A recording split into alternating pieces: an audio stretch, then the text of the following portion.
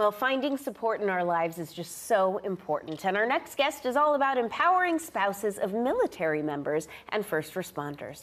Jenna Griffith is uh, on, she has a purpose and prosperity, excuse me, she is the purpose and prosperity expert, and she is the author of Service and Soul. Welcome back, my friend. Yes, I'm so thank happy you. to have you here. Thank you. I'm so happy to finally meet you. I've I heard know, a lot. I know. You missed out on all the fun last time. Oh, I know. But we're having fun today. Now, I do want to start with um, this book and, and your whole mission behind what you're doing because it's so personal to you Mm-hmm. after your own journey.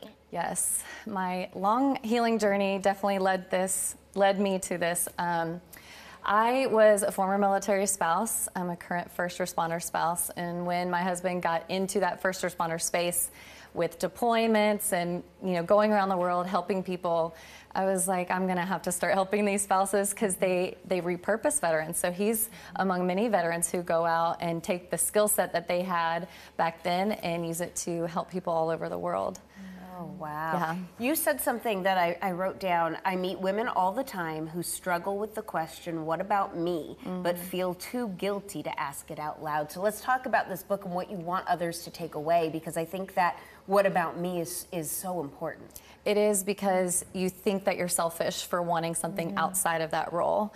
We're the silent soldiers, is what I refer to us in the books. And there's just so much difference between selfishness and selfishness. Mm. And we really dive into putting the oxygen mask on first and knowing that you can have it all. You can do both.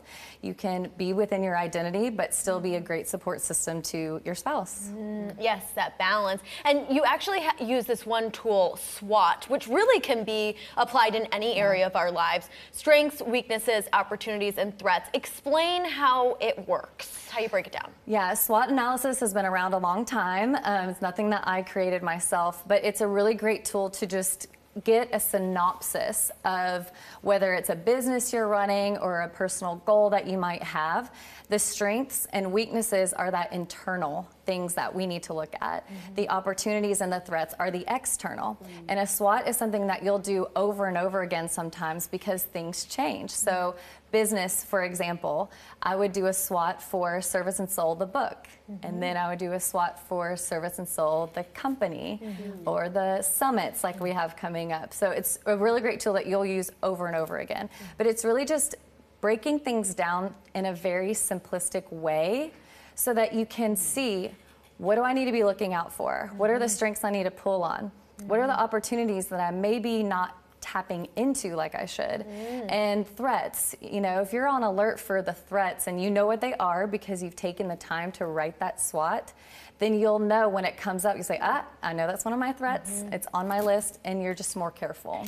Almost take the emotion out of it. It's mm-hmm. just, hey, you know, strengths, weaknesses, opportunities, threats. It's not so heavy on, you know, I'm so happy or I'm so sad. Mm-hmm. It's just the facts laid out. Yeah. Now, you know, you mentioned your summit. Not only is this an amazing book, best-selling book, I should say, and you didn't even think anyone would pick it up. Um, you've created a community, Facebook groups, summits, in-person meetings. Tell us about that. One's coming up in Clarksville. Yeah, we have an online Facebook community for our spouses, and we do two free coaching calls a month.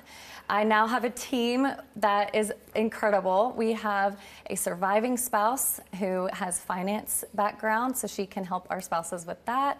We've got an active duty spouse. We have a dual serving spouse, um, and our active duty spouse is a licensed hypnotherapist, so she really helps a lot with the trauma coaching and really bringing out those subconscious beliefs that we have. And um, we do that online for free. And then we have our Soul Summit. So, Soul is an acronym that stands for Source of Unconditional Love. And our whole mission is to teach these women how to reconnect with themselves and reconnect with God so that they can have that fulfillment, they can have that peace, and they can have that joy.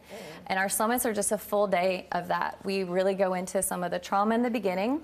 And then I walk the women through a eulogy exercise, which sounds really morbid, but it's actually a very powerful tool and that helps me help them find their purpose in less than 10 minutes. Wow. Oh, so meaningful. You're just such a real human being, so easy to connect with, oh, doing such you. great things. Thank, you so much. Thank you. All right, find the support that you need. Go to serviceandsoul.com and be sure to check out the Soul Conference.